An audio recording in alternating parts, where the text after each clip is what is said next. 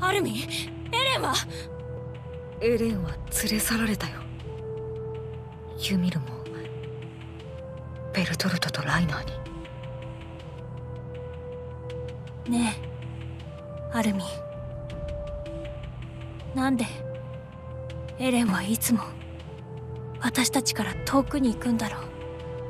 そういえばそうだねエレンは昔から一人で突っ走っていくんだ。僕らを置いて。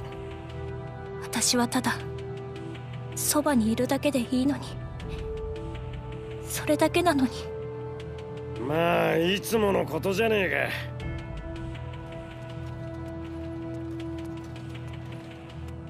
か。あの悪ガキの起こす面倒の世話をするのは昔っからお前らの役目だろ俺も行くぞ。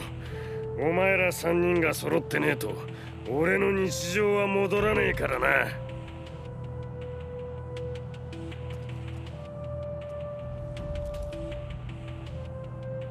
クリスタやっぱり君には残ってほしいんだけど。それは無理。ユミルがさらわれたのにここで待つなんてできない。ああ。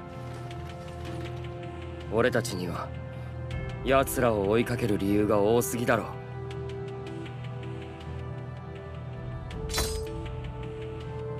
そう。一刻も早くエレンを取り戻さないと。おいエレビン団長が到着したぞ。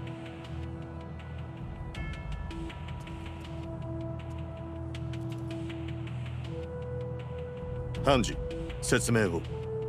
うん彼らの目的地をウォールマリアの向こう側そして目的地までたどり着くだけの体力が残っていないと仮定しよう。ならば彼らはこの先にある小規模な巨大樹の森そこに向かいたいだろう。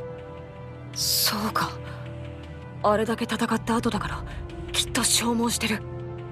ああ。ならばどこか巨人の手の届かないところで休みたいと思うんじゃないか？巨人が動かなくなる夜まで。